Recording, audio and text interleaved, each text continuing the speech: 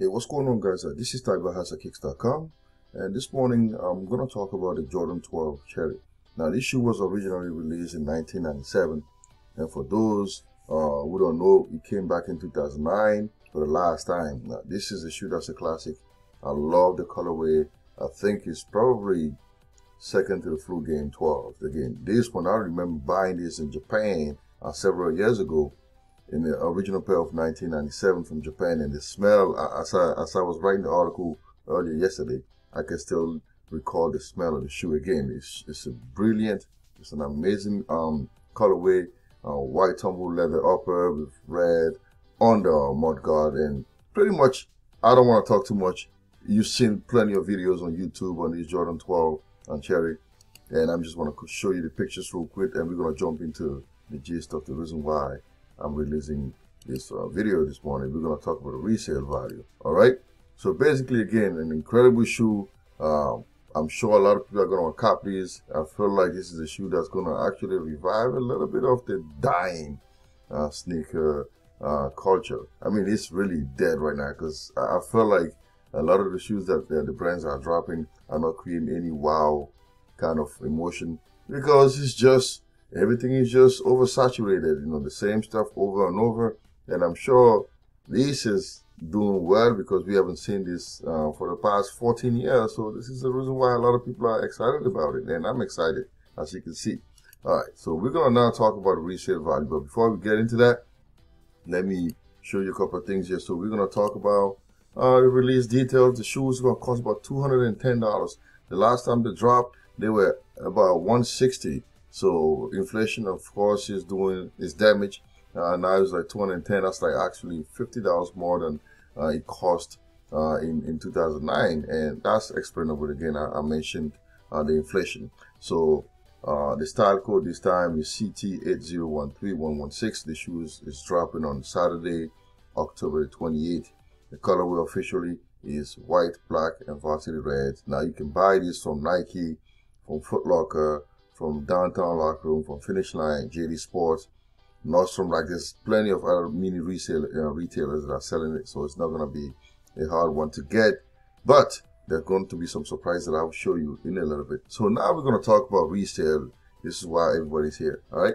So resale. So I'm going to show you something first. Now this is the resale value versus time. So basically that's between October the 24th and October the 25th. So I collected my data and this is my observation. As you can see, from the 24th to the 25th, the shoe went from 262 down to $253, basically um, dropping by a $9 um, value. But this is still great news considering the fact that for the most part, all Jordan 12s that have dropped lately have been reselling for under the retail price. Especially the, the last one that I just dropped, the Jordan 12 black and purple is reselling now for under retail. So if you're a reseller, you should be a little bit happy. I'm not, I'm just saying a little bit because the retail price is actually really high.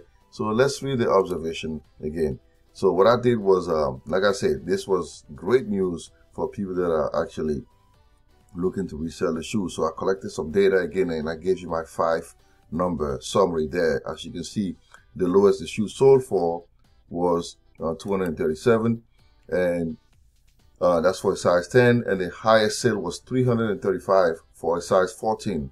Now, 25% of the shoes sold between 237 and 252, and then half of them sold between 252 and 262. And the top 25% sales were between 262 and 335. Now, I found three outliers. Now, an outlier is on the regular value, meaning this is not something that's going to occur very uh, frequently. So the outliers were 317, 323, and 335, and they corresponded to sizes 9, 16, and 14. Now, if you disregard these outliers, let's say that you stretch them out and you take them out of the, your data, the uh, uh, overall average resale value is about 256, and that's a 3% volatility. So you can expect pretty much 95% of the shoes to sell between 242 and 270 with that 3% volatility. It's a low volatility. That's pretty, that's good news for someone that likes safe stuff. But if you, when it's, when the volatility is, is too high, that means prices can drop at any given moment, they can change very rapidly. Now here we have a 3% volatility, so there's not going to be too much of a change as uh, the days get closer to the release date. So you can expect the shoe to sell for 256, uh, 256, 256 bucks in general. And that's a profit, of $10. And that's like a 5% markup. That is still below average, but doesn't mean that you shouldn't resell the shoe. There might be sizes that might be worth reselling. We're going to see that in a minute. So I'm going to show you another table here real quick. So I went and collected some data on sizes. So as you can see, if you sell a size 10, you make about $6. A size 10 and a half, you make about 7 A size 11, you're going to make about 19 bucks. A size 11 and a half, you make about $13. A size 14, a size 12, you make about 14 And a size 13, you make about 15 bucks. A size 14, you make about $54. And a size 16, you make 71 A size 7 and a half, you make 22 Size 8 and 8 and a half, you make about $4. A size 9, you make 14 and a size nine and a half, you make six. So now what can we say and conclude about this shoe? Now, if you look, like I say, on, on the earnings, on the earnings by size sold, 31% of the sales led to earnings under $10. That is the size 8, 8.5, 10, and 10.5. I mentioned them. And then 38% uh, generated profit between 10 and 20 bucks. Okay, that's like the, the, the, size that are a little larger, like 11 to like 13. And then a nine, and the size seven and a half kind of surprised me a little bit. I guess it's the size that a little it's, a, it's not that common, so that's gonna probably fetch a little more money. As you can see, it's 22. Now the sizes with the highest margins were size 14 and 16 with 54 and 71. So should you resell this shoe is the question. Should you resell it? Well, that's that's a good question. Now it all depends on the size that you acquire. Now to ensure that you actually have a profit of 15% or above, you need to aim for like larger sizes, let's say 13 or above, 13, 14, 15, that will give you a decent profit. Now, the low vol volatility does ensure that you won't lose any money on the shoe, but you can't expect any extravagant like returns, like home runs. You know, that's not going to happen. You're probably going to end up with $5 or $10 on most pairs unless you have a size 13 or above. Now, for retail, retailers are going to sell out. It's a shoe that people want, they're anticipating it, so it's going to be a good one that's going to sell very well via retail. All right. So I've also written an, an article on how to identify the fake pairs. So you can check my website. Go to www.housakicks.com.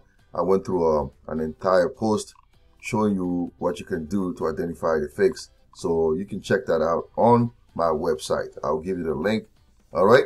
So this is all I wanted to talk about today. Again, the Cherry 12, again, is a shoe that I, I think everybody should get that shoe. is a great shoe, man.